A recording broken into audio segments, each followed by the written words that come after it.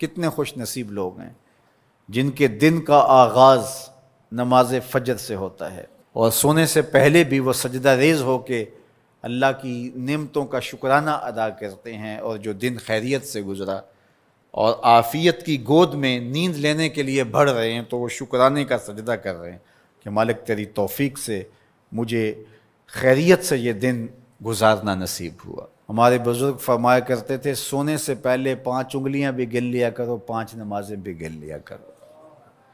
अगर पाँच नमाजें पूरी हैं तो अल्लाह का शुक्र अदा किया करो कि तुम्हें तोफ़ीक उसने अता की। अल्लाह अकबर। हजूर सलाम ने कुछ लोगों को देखा मेराज की शब कि उनके सर पत्थरों से कूटे जा रहे हैं। कुचले जाने के बाद फिर दोबारा सर सही कर दिए जाते हैं, फिर पत्थरों से उनके सर कूटे जाते हैं।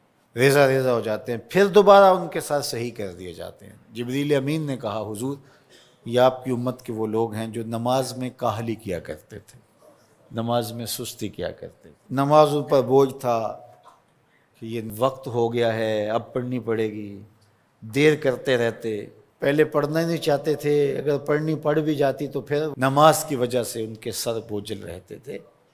आज उनके वो सर कूटे जाएँगे। नौजवानों, बिलखसूस मैं आपसे मुखातब हूँ। माँ बाप को ज़ोर ना लगाना पड़े, आपकी मिन्नतें ना करनी पड़े, आपके तरले ना करने पड़ें, आपको झिड़कना ना पड़े। जब हैया सलाह की आवाज़ आए, तुम बिस्तर से छलांग लगा के उठ जाओ कि मेरे रब का बुलावा है मेरे नाम।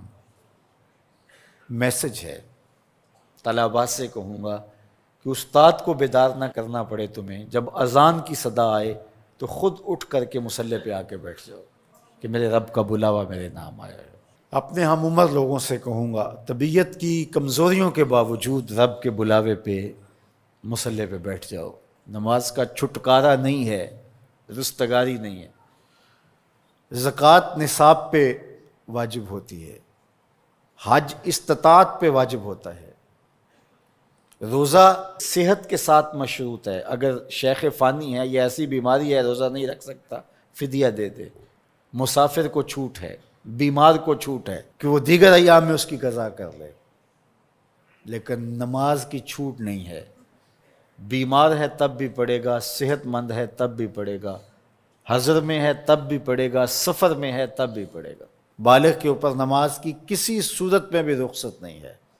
खड़े होके नहीं पढ़ सकता, बैठ के पढ़ ले, बैठ के नहीं पढ़ सकता, लेट के पढ़ ले, इशारे से पढ़ ले, वज़ू के लिए पानी दस्तयाब नहीं है तो तयम कर ले, हालत सफ़र में है कसर कर ले आधी पढ़ ले, पूरी ना पढ़े, दुश्मन के मुकाबले में है सलातुल खौफ की सूरत में पढ़ ले, ये नमाज़ का मसला है, इतनी अहम नमाज़ है तो जिनके सर बोझल रहे नमाज़ से, सर्दियों में होता है, ऊपर नीचे नमाजें आ रही होती है, अभी